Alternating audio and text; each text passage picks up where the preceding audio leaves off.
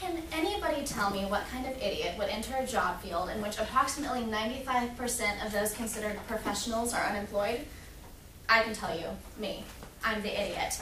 And I'm here to talk to you today about something that not only concerns me, but also concerns you the avid movie, TV, and theater goers who cannot live without their fix of How I Met Your Mother, Wolverine, or those who are just known to belt out a tune in the shower.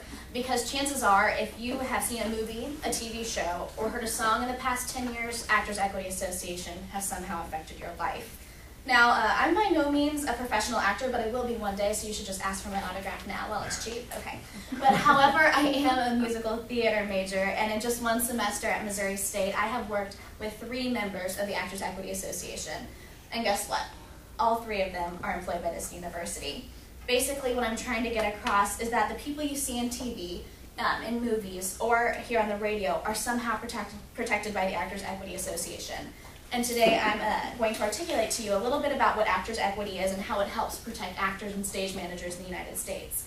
So if you want to keep watching Netflix instead of doing your homework, listen up because this is important. Uh, let's start off by defining what Actors Equity is to the general public.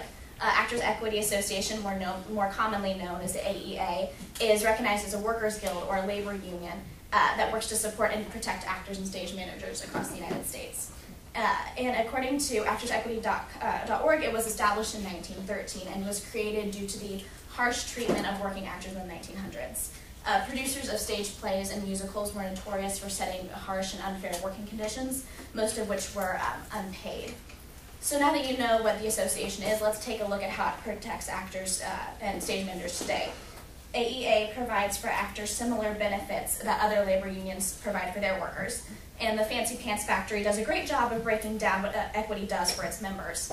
Um, according to their website, Equity determines the amount of rehearsal hours a producer can demand of their cast or crew, uh, how many and how long the breaks are during the rehearsal process, and according to my acting professor and AEA member, Sarah Wiggin, certain health care benefits are provided to those who uh, do a certain amount of work during a year's time.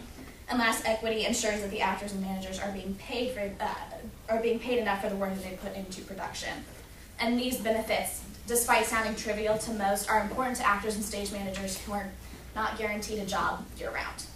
So lastly, I just want to reiterate how important it is to those who are members of Actors Equity and how organizations like these sustain the arts. I hope you've learned a little bit about Actors Equity and how it will play a role in your future and hopefully mine as well.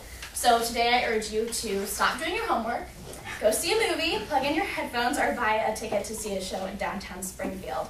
Support the artists who create for you, and you will have much more Netflix to watch in the next 10 years. Trust me. Thank you.